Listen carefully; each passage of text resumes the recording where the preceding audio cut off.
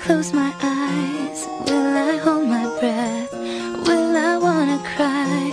Will our souls connect? I've been thinking about